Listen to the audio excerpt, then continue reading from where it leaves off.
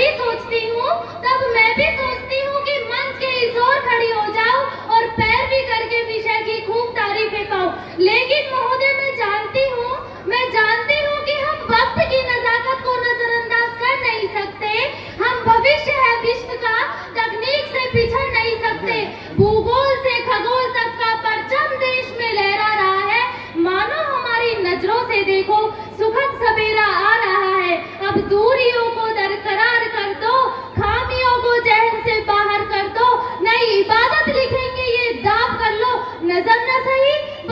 नज़रिए में बदलाव कर लो, बस नज़रिए में बदलाव कर लो। सम्मानित मंच, समस्त गुरुजनों, एवं यहाँ पर मेरे प्यारे बहन और भाइयों, मैं सभी को नमस्कार करती हूँ।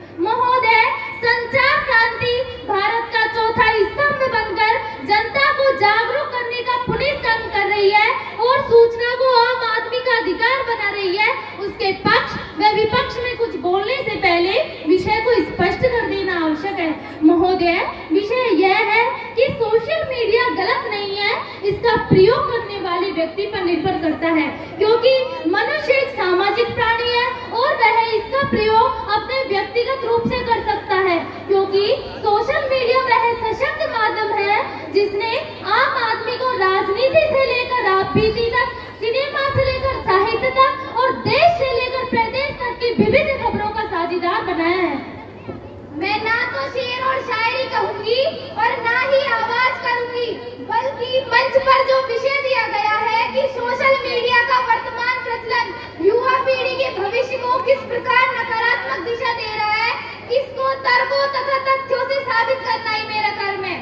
सबसे पहले मैं आप सबको ये बता देना चाहूँगी कि जब मेरी विपक्षी साथी के पास सबसे बड़ी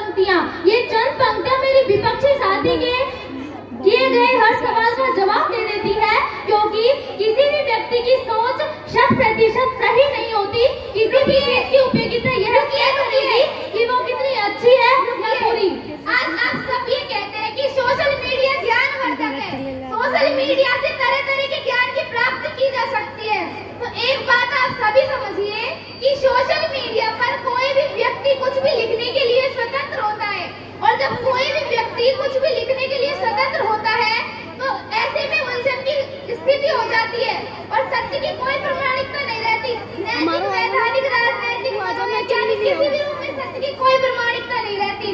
और जब सत्य की कोई प्रमाणिकता नहीं रहती तो, तो युवा हमेशा नकारात्मकता की ओर ही जाते हैं। अरे अरे मत जिलाओं को हवा दो ये बस्तियाँ जल जाएँगी।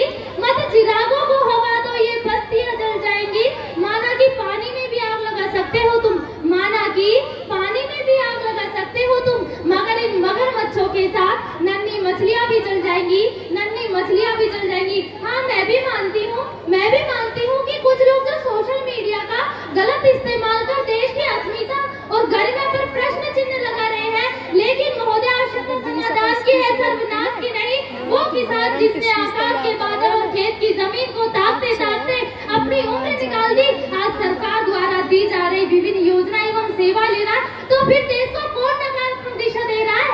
आज घूंघट की ओट में बैठी स्त्री मैं और आप बनकर इस मंच पर खड़ी है। तो भला देश कैसे बिगड़ रहा है?